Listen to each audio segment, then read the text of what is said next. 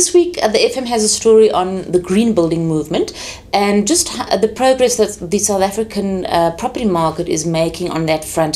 Uh, there was a, a new report out recently by McGraw Hill, who's a US based construction company, and their global green build trend report actually places South Africa as the fastest growing region in the world in terms of. Um, green building.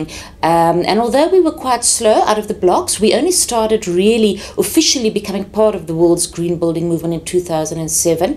We, we've really made fantastic progress, and the uh, Green Building Council of South Africa has already registered around 55 buildings, um, which which is apparently quite quite good if we consider that they've only they were only established in 2007.